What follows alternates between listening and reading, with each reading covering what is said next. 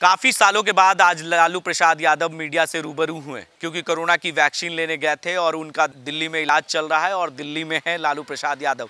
Corona की vaccine Lalu Prasad Yadav ने ले ली है और वो भी कोविड सील ली है।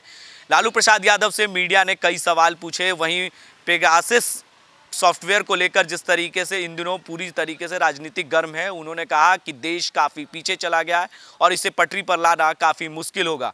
वही तेजस्वी यादव को लेकर भी कई सवाल उनसे पूछे गए क्योंकि इन दिनों मानसून सत्र चल रहे हैं और मानसून सत्र के दौरान जिस तरीके से हंगामे हो रहे हैं और बजट सत्र के दौरान, यानी तेईस मार्च के दिन, जिस तरीके से विधायकों को पीटा गया था, उसको लेकर भी लालू प्रसाद यादव से सवाल पूछे गए कि तेजस्वी यादव इनको लेकर काफ़ी मुद्दा उठा रहे हैं। उन्होंने कहा कि सही कर रहा है, तेजस्वी यादव जो भी कर रहा है, इन दोनों अपने विधायकों के साथ है और विधायकों के साथ खड़ा रहना भी चाहिए।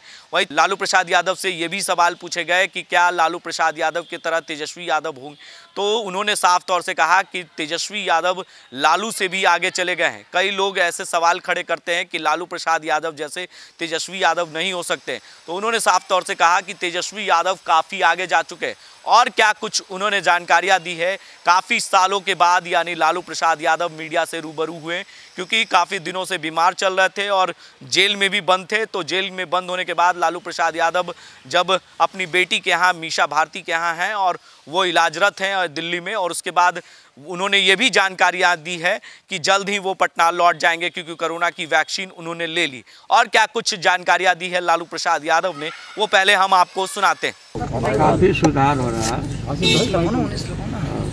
आशा करते हैं कि एक आध महीने के बाद पटना जी सर। छुट्टी हो जाए।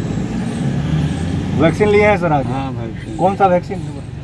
Covid covid covid sir Lalu ji जो वर्तमान देश का राजनीतिक हालात है पेगासस का मुद्दा चल रहा है कृषि कानून का इस पे आप क्या कहना शरद पवार जी भी आपसे मुलाकात किए थे आपके घर हाँ पर पीछे।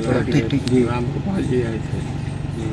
मौजूदा देश का जो हालत है तो है। ठीक है अच्छा रहा। देश बहुत पीछे चला गया। जी हर क्षेत्र में देश पिछड़ता जा रहा है। मुश्किल से पटरी पर लाना पड़ेगा न जाने की कितना वर्ष लगेंगे सर आप पटना जाएँगे बिहार जाएँगे कोई अभी प्लान ऐसा नहीं पटना पार्टी है ये। जी। सर वह तेजस्वी यादव जब विधानसभा में बोलते हैं तो लोग सुनते हैं। कल जिस तरीके से उन्होंने कहा है कि विधायकों के लिए वो हमेशा खड़े रहने वाले हैं विधायकों के साथ जो हुआ है उसको कभी वो आपके अंदाज में कल दिख रहे थे? अंदाज का मतलब है कि पूरा विधायकों को अंदर घुस के पुलिस अफसरों ने पीटा। तो कभी ऐसा नहीं हुआ था।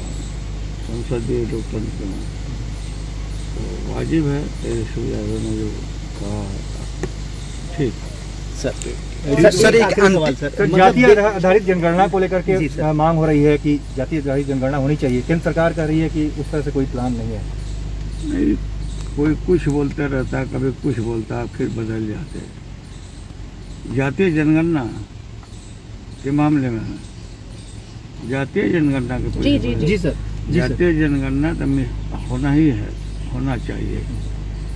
और लगातार हम लोग संघर्ष किए हैं। और इसके लिए इधर उधर कोई कोताही नहीं करना चाहिए गवर्नमेंट को। ठीक। सर मुकेश सहनी दिल्ली आए हुए हैं। कहा जा रहा है कि आपसे मुलाकात करेंगे बिहार के राजनीतिक परिदृश्य में।